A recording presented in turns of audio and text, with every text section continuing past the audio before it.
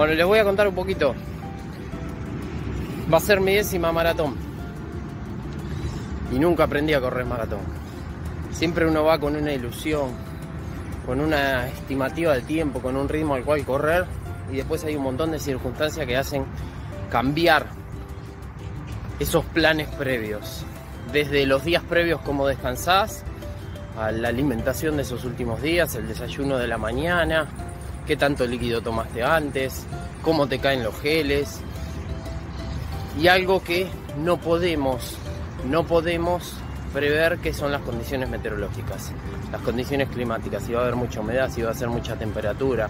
Hay personas que van más rápido cuando hace calor, hay personas que van más rápido cuando hace frío.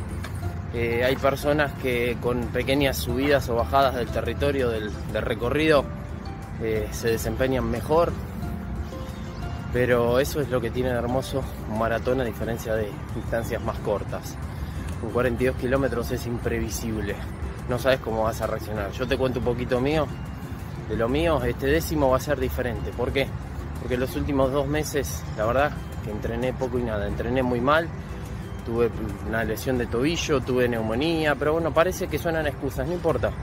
Pero lo que me voy a proponer es como si fuera mi primera maratón, lo voy a disfrutar lo voy a disfrutar, lo voy a llegar, voy a grabar el proceso eh, para tomarlo de otra manera y para que quede ese recuerdo grabado, para que quede ese recuerdo en video. Es así, es una fiesta, la maratón es una fiesta, es la ciudad en, movimiento, vas a conocer la ciudad de una manera distinta, disfrútalo, pasalo bien. Recordá que somos unos pocos privilegiados los que podemos correr una maratón lo que podemos correr 42 kilómetros, 195 metros. Dicen que es menos del 1% de la población. Bueno, considerate dichoso de estar en la línea de meta y considerate dichoso de llegar al final. Levanta los brazos, festeja, emocionate. Vas a ver que es algo tremendo. Y si es tu primera vez, concentrate en llegar. No importa el resto, no importa el tiempo, no importa nada. La primera vez es a llegar pero disfrútalo, disfrútalo, pasalo bien, reíte, emocionate, alegrate.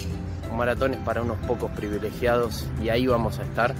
Y ahí vamos a estar en cada línea de largada, en cada maratón que, que asumamos, en cada maratón que vayamos a correr. Este es mi mensaje del día de hoy. Quedan unos poquitos días y siempre van a quedar unos poquitos días para la próxima maratón. Y el hecho es pasarlo bien y disfrutarlo. Gracias.